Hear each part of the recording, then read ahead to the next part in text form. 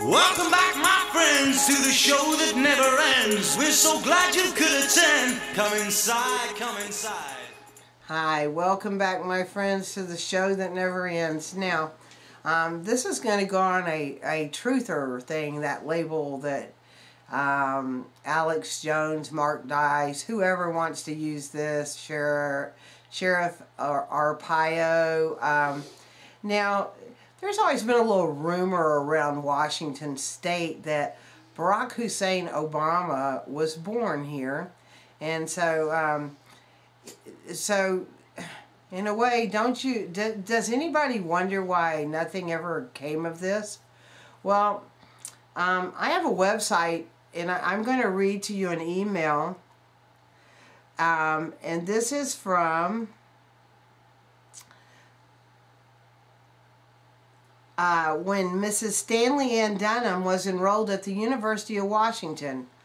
She was there for autumn 1961 through the winter of 1962, spring 1962.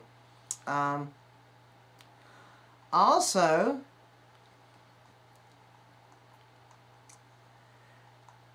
The records, uh, they were a request, and, and it gives the phone number. The records responsive to your request from the University of Washington are as above provided by the public disclosure, disclosure laws of Washington State.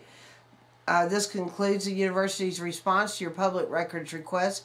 Please feel free to contact our office if you have any questions.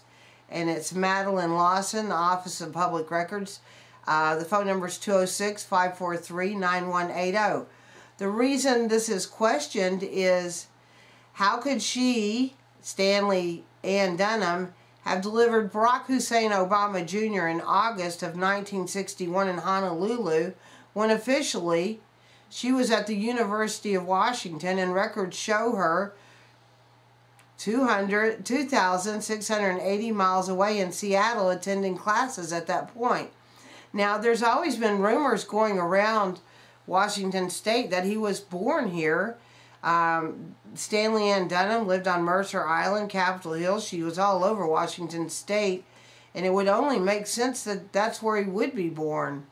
Um, I don't know what to say except I'm going to put this up. I, I mean, it's too late. He's a lame duck president unless he decides to become a dictator forever. But uh, no one even, and this was actually October 24th, 2008, uh, before he was even elected president, uh, people were trying to say, look, he was born in Washington State, but instead everybody else, the truthers, ran with it uh, that he was born in Kenya or here or there. And, and yeah, it, it's, there's a lot of things that are, are, um, real suspicious because he does use dead people's um, social security numbers and, and and stuff in his college. We have no records of his college. Um, so there, there was something fishy going on, although I do believe his birth was at the University of Washington myself after reading a lot of things. I'm going to leave this link. I just, my problem is, is I'm telling you, even in alternative media, you don't really know who to trust. So you have to climb down these wormholes. And like I said, I've been following rumors of this, and and for some funny reason, today I decided to look into this, and um, it seems to me that he was born in Washington State.